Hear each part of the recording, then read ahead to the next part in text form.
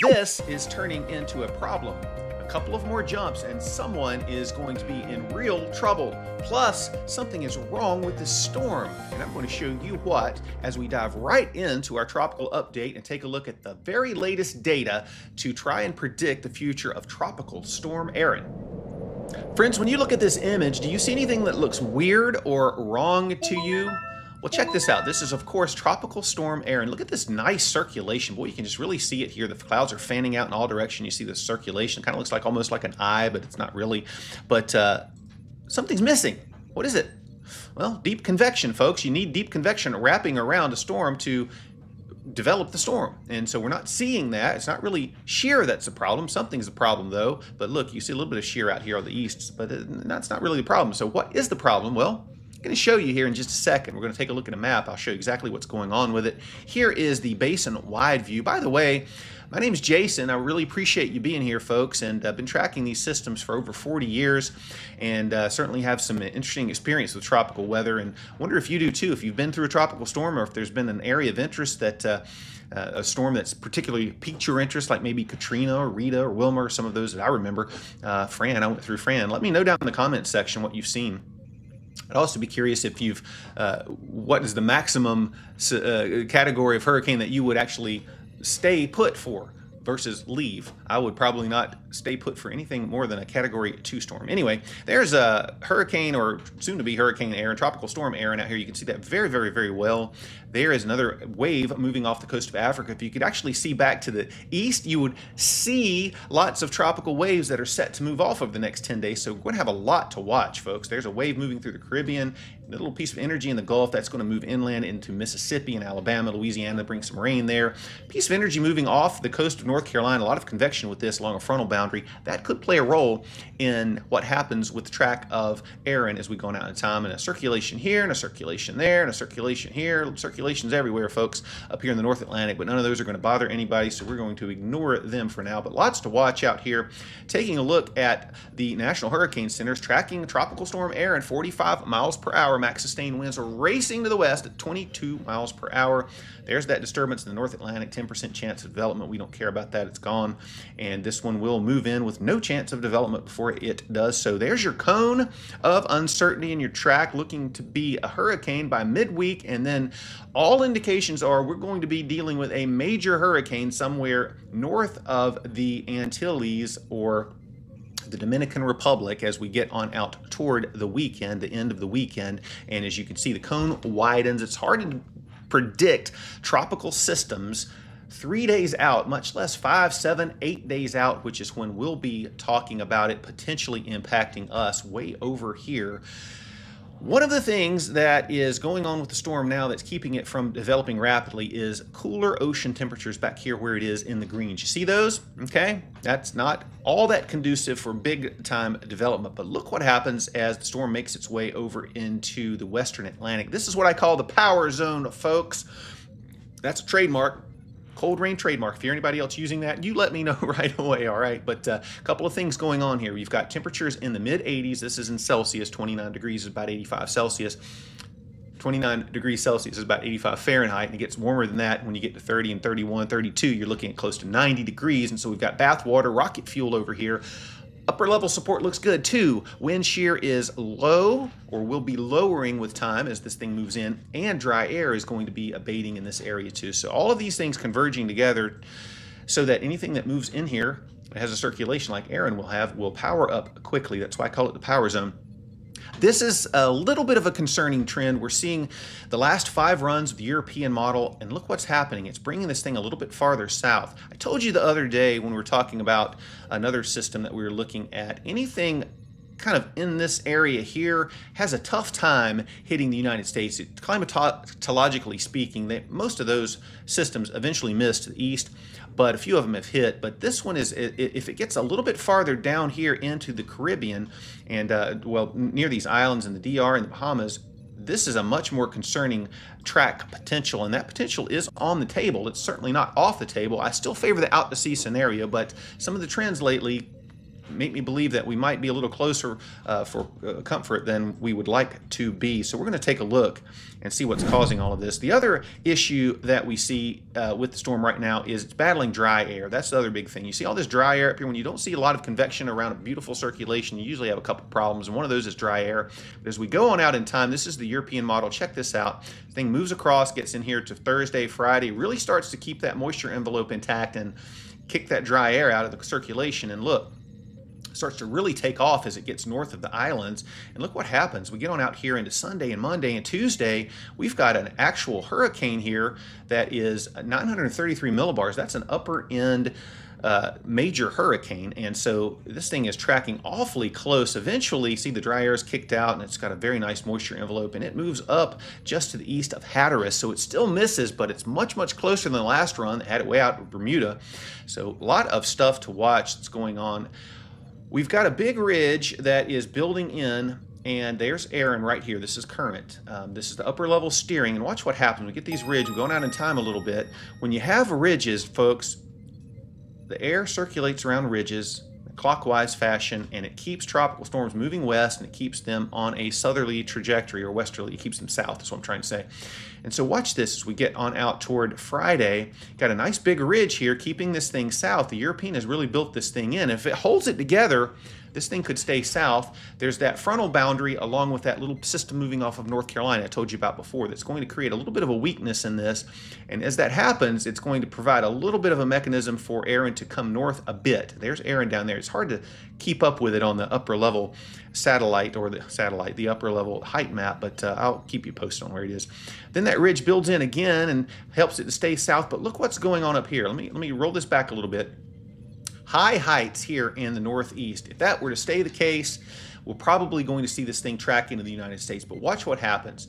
This trough zooms out of southeast Canada toward the northern Atlantic. It helps to beat this ridge back, and you have an escape route now for this thing to turn north into. This is what we've been seeing, but any delay in this trough coming down here, farther south this thing maybe gets, we could have a totally different ball game on our hand. It's not set in stone. There's no way to know, no reason to panic yet, but I still favor the escape route scenario, and there it goes. But it passes awful close to Hatteras this time, another jump or two, and we're inland here in the United States. Another jump or two in the opposite direction. Bermuda could be in place, so we've got a lot to watch. Here are the hurricane models. Some of these models are pretty good, some of them aren't so good. Let me find the right display. There it is.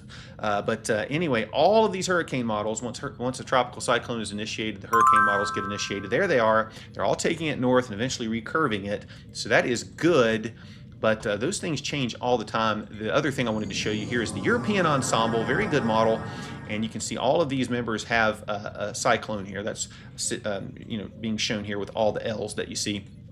And they get strong too, and they all track either north into or pretty far north of uh, the islands. And as we go on in a time, you see that big fan out, everything kind of sprayed out, but most all of them still recurve, okay? A couple of them go into the United States, but most everything's still recurving. So that's good news gives us good confidence, but that could change. We're still eight days out, and as I said, I've been tracking these systems over four decades, and I know for sure that you can't ever say anything for sure when it comes to tropical cyclones beyond three days, and even then, it's a stretch. So we're going to watch it. A lot of things at play here. I'll keep you posted on it.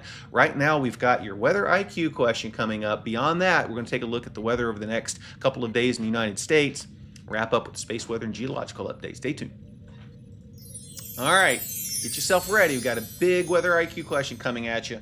Here it is. What weather phenomenon causes the most annual fatalities in the United States? Tornadoes, floods, heat waves, or hurricanes? If you know the answer, type it in the comment section. If you don't know it, just wait to the end of the show. I'll let you know exactly what it is and why. In the meantime, we've got to get to the weather across the United States because there's a little bit of weather that's out there. Fortunately, not anything all that bad, but still got to take a look at it.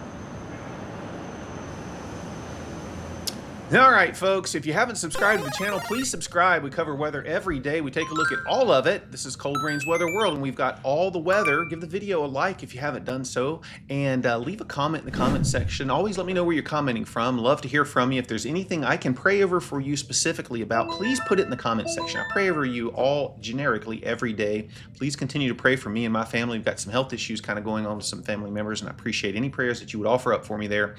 Uh, but folks, we've got problems of our own here in the northern uh, tier of the United States, here in the Midwest Great Lakes. Smoke again coming in from Canada as the wildfires rage up there. Weather systems come along across the north, and behind those, they bring in the smoke, and high pressure builds in and just traps it in the United States. Sometimes kicks it to the northeast, and then new weather system comes in, kicks everything out, and we wash, rinse, and repeat. Heat advisories up here in Maine going to be hot and muggy up there along the Mississippi Valley too, down here between Louisiana and Alabama.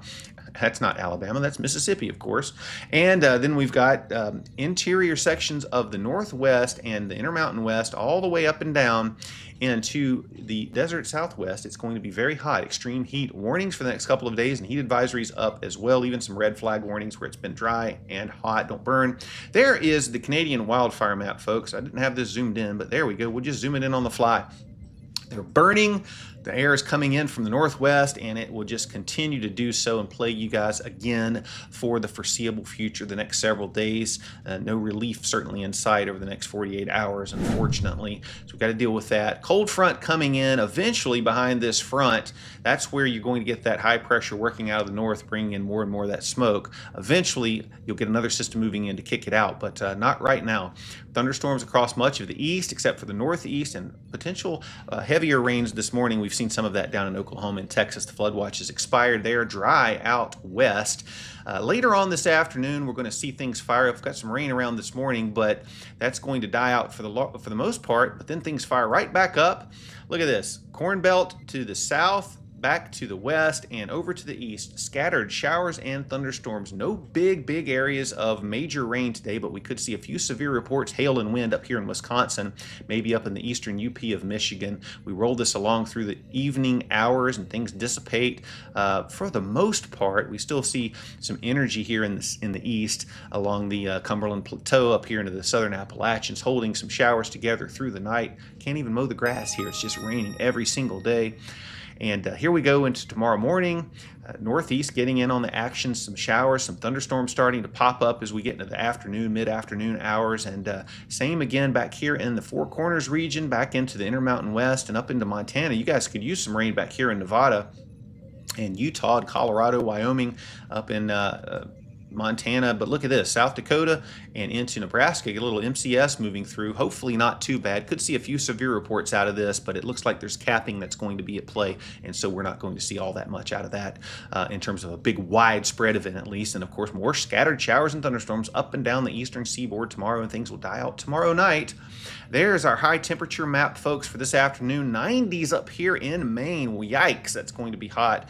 A 90 stretching back through the Ohio Valley to South Texas, where we find 100 degree temperatures. And then, of course, in the desert Southwest, we're back up into the mid one teens again, working into the hundreds up to the Intermountain West and into the interior sections of the Northwest. Very, very pleasant up here, but smoky in the northern tier, hot and humid up in Florida. As we go through the next couple of days, much the same, warming up here in the plains, maybe backing off a little bit in the interior Northwest, still hot in the desert Southwest, 90s across Texas until you get to South Texas, 80s here in my area, 90s in Florida with thunderstorms and 80s and 90s up and down the East Coast, but still feeling pretty nice here where it's been cloudy and rainy. And uh, we'll go out one more day here and take a look. And much the same story, except cooling off in the Great Lakes in the northeast, also the interior northwest and the northern tier. Heat surging back into the plains where we find hundreds back up into the central plains. And of course, warm in the desert southwest yet again. That's what's going on there we take a look at the energy map over the next couple of days, it kind of gives us a look at the flow. Look at this little piece of energy. They're just coming in over the southeast around this ridge. We've got a ridge center here, bringing air out of the southeast. You can see these little pieces of energy kind of moving up in this direction. Will keep us cloudy and unsettled down here. Another trough working through the Midwest in the Great Lakes and uh, extending back into the Missouri Valley and down into the lower Mississippi Valley, keeping things unsettled in the southeast. Eventually, as we get on out toward Friday, big ridge takes over in the center of the country. Energy atop that ridge going to keep you unsettled up here across the north from day to day. Make see showers and thunderstorms move through, and eventually it puts an end to the rain. This big ridge building in uh, into the southeast. Looking way out at the long range, six to ten days core of the heat's out west and across the southern tier. Not too bad in the northeast, along the west coast eventually as we get way on out from August 21st to the 17th. Alaska, mixed signal there, Hawaii above normal. And then, of course, temperature and rainfall patterns kind of correlate. So where it's really, really hot, we're not seeing a lot in the way of thunderstorm and shower activity. Certainly not here in the Four Corners, well, just west of the Four Corners region over here in the Intermountain West, but above across the northern tier where it's been like that, and then above across the center portion of the country, near normal everywhere else. And so that's what we're looking at as we go on out through the week. To wrap things up with space weather and geological update coming right up. All right, here comes another coronal hole. Look at this. You can see the black uh, area here in the sun. That's coronal hole enhance the solar wind. We know that if you watch this channel, you know that's what's going to happen. The solar wind will be enhanced and we could find ourselves back in minor geomagnetic storm conditions as it interacts with the magnetosphere. Sunspots, we've got a few of those coming toward us, nothing all that complex or growing rapidly, so we don't really have to worry about a big solar flare or CME unless a filament erupts, and that's always a possibility, but nothing imminent on that front. Look at the earthquake map. Woo! We in good shape. Nothing going on at all over here. Everything's quiet. Nothing going on on the volcano front and the ring of fire that we're watching. But there is something going on with the moon. It's going down. 87.3%. Waning gibbous going to new moon phase on August 23rd. You still got another day or so to catch the Perseids at their peak. If you can get out there and you don't have smoke, you don't have clouds, rain, you don't have light pollution from the moon, get out there at the right time, you see some of those fireballs. And of course, the countdown to fall is on 41 days until September the 22nd, which is calendar fall. I cannot wait. I cannot wait. I cannot wait. And that brings us all the way back around to today's uh, weather IQ question. If you remember the question, it wasn't that long ago this time. This is a short show. What weather phenomenon causes the most annual fatalities in the U.S.? Tornadoes, floods, heat waves, hurricanes? The answer is heat waves. Heat waves cause 1,200 deaths annually each year. So you have to take care of yourself in a heat wave. Stay cool, drink plenty of fluids, take breaks, and stay, of course, hydrated, as I said. Now you know about heat waves and the weather, and of course, one more thing, I don't know why we're on a baseball kick lately, but I thought this was interesting. In 1994, there was a strike in Major League Baseball, and it lasted 232 days, and it resulted in the cancellation of the World Series that year. This is the first time that it happened in 90 years. How about that? Well, now you know about baseball, and of course, as always, this is Cold Rain reminding you, other channels run 24-7, but I got you covered right here, right now, 4814. I hope you have a wonderful day. We'll track those tropics, and if anything happens or changes, I'll let you know on X. You can follow me at Real Cold Rain. I'm a tweet a couple times a day, but uh, unless something changes. But that's it for the day. Hope you have a great day. I'll see you back tomorrow. Take care.